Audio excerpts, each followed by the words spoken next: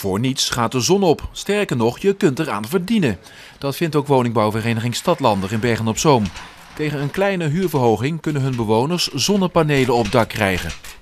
Nou, en dan is dat het kastje. En ze zeiden van, je hebt 11 euro meer betaald, maar je houdt er ook nog geld aan over. Dus, en je elektriciteit, dat gaat omlaag. Drie zonnepanelen kosten 5,5 euro extra huur, zes panelen 11 euro.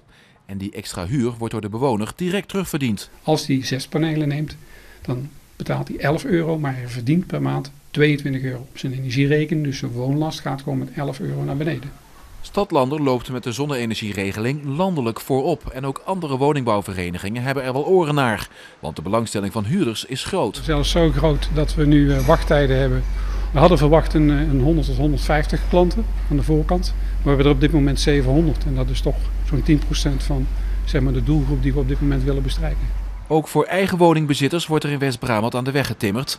In Steenbergen opende vandaag de eerste zonnestroomwinkel van Nederland. Een soort Apple Store, maar dan in zonne-energie. Je loopt naar binnen, je hebt de vraag: ik wil zonnepanelen, ik wil subsidie, ik wil een slimme meter. En je loopt naar buiten met een offerte en de antwoorden op al je vragen. En zo moeten er in Brabant nog 10 zonnestroomwinkels komen. Ieder jaar stijgen de energiekosten met 7%.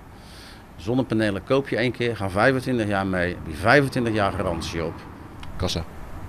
Voor de consument zeker. En dit is dus allemaal wat of je dus, dus ja, wat of dus gebeurt. Ja, Nog even, en u Dus- krijgt eh, centjes terug van de cent. wat dat zou kunnen. Graag.